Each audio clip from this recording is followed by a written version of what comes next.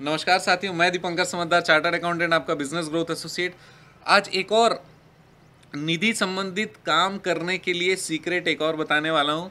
आप एक चीज़ सोचिए कि कोई भी नॉर्मल व्यक्ति आज ये सपना देख सकता है कि वो निधि कंपनी खोलेगा, वो गोल्ड लोन देगा, वो मॉडगेज लोन देने वाला है।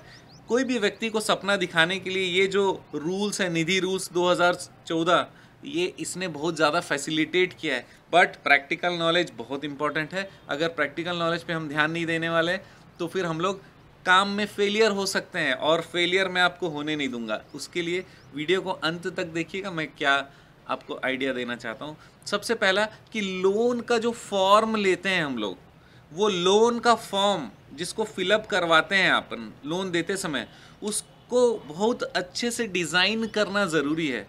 आप लोगों को लोन का फॉर्म चाहिए, कैसा होना चाहिए? अगर हाँ तो फिर कमेंट ज़रूर करिएगा और उसमें अपना मेल आईडी लिखिएगा। आपको लोन का फॉर्म फॉर्मेट मैं ज़रूर प्रोवाइड करूँगा, जिसमें सारे क्लॉज ज़बरदस्त तरीके से लिखे हुए होंगे। तो ये लोन फॉर्म के लिए आपका मेल आईडी आपका नाम, आपका मोबाइल नंबर ये कमेंट में आप ज़रूर डालिएगा। मैं आपको लोन के फॉर्मेट देने वाला हूँ।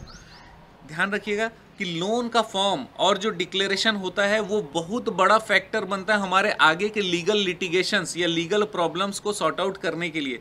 जब कोई पैसा देता रहता है, तब तक कोई प्रॉब्लम नहीं है। लेकिन जब पैसा नहीं देता रहेगा, उस समय हमारा ये जो loan form declaration form Nidhi में बहुत सारे डॉक्यूमेंट्स होते हैं। मैं एक एक करके वीडियोज़ में बताने वाला हूँ। लोन फॉर्म बेसिकली क्यों होता है? इसलिए कि हमारा जो एप्लीकेंट है, उसकी पूरी जानकारी रहे। उसके नॉमिनीज़ कौन है, उनकी जानकारी रहे। उनके परिवार की पूरी जानकारी रहे। इनकम का जो सोर्स है, वो कैसा है, उस, वो स्टेबल है कि नहीं स्टेबल है? और जिस व्यक्ति ने उससे मुलाकात की, वो भी उसमें अपना डेटा लिख सकता है कि भाई, मैंने इनसे मिला और लोन फॉर्म में ही लिख रहा है कि भाई, मुझे लगा कि इनका इनकम स्टेबल है। और जो जो डॉक्यूमेंट्स उस व्यक्ति ने आपको दिए हैं, उसका इन्फॉर्मेशन रहता है। इसके अलावा जो प्रॉपर्टी या गोल्ड वो ऑफ़र कर रहे हैं, उसका टाइप हमारे पास में इंफॉर्मेशन में फॉर्म में आ जाता है कि भाई वो क्या ऑफ़र कर रहा है। लोन लोन जो चाहिए, वो गोल्ड के अगेंस्ट में ऑफ़र कर रहा है, या फिर कोई मॉडगेजेबल प्रॉपर्टी दे रहा है, जिसको हम लोग मॉडगेज पे रख ले रहे हैं। तो लोन फॉर्म में डिक्लेरेशन भी होता है कि मैं स्वेच्छा से इस कंपनी में लोन मांगने आया हूँ। दूसरा कि मुझे किसी भी प्रकार का कोई लोन लेने के लिए प्रेशर नहीं था। तीसरा, मैंने स्वेच्छा से पहले यहाँ की मेंबरशिप ले ली है तथा मेंबरशिप संबंधी सारे फॉर्मेलिटीज़ पूरा किया हुआ है। चौथा, यहाँ पर के सारे रूल्स और रेगुलेशन मुझे इंग्लिश में या हिंदी में जो भी उनका लैंग्वेज होता होगा, उसमें बताया गया है। और अगर एक चीज़ ध्यान रखिएगा एक रीजनल लैंग्वेज का ऑप्शन रखिएगा। अगर रीजनल लैंग्वेज कोई है जहाँ पर इंग्लिश हिंदी कोई समझता नहीं है तो एक व्यक्ति जो कि ट्रांसलेटर हो वहाँ का रेस्पेक्टेड बन, बंदा हो उसको अपने साथ में रखिए। वो ज़रूर ट्रांसलेट करके सारे फॉर्म्स को बताए।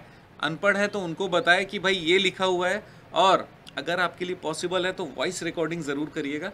और नहीं कर पा रहे हैं कोई बात नहीं। लेकिन फॉर्म के नीचे उनके अंगूठे या फिर साइन और उसके साथ उस व्यक्ति जिसने ट्रांसलेट किया जिनको वो लोग जानते हैं उनका साइन और डिटेल फॉर्म में करवा लीजिएगा। जब हम प्रिलिमिनरी फॉर्म वाला काम बहुत अच्छे से कर लेते हैं, तब जाके हम लोग ये एक्सपेक्ट कर सकते हैं कि आगे के लोन या किसी भी चीज़ में कोई प्रॉब्लम नहीं आने वाली। मैं आपको बताना चाहता हूँ कि ग्राहक बहुत अच्छे होते हैं, उनके जीवन में परेशानी और मजबूरियाँ काफ़ी सारी होती हैं।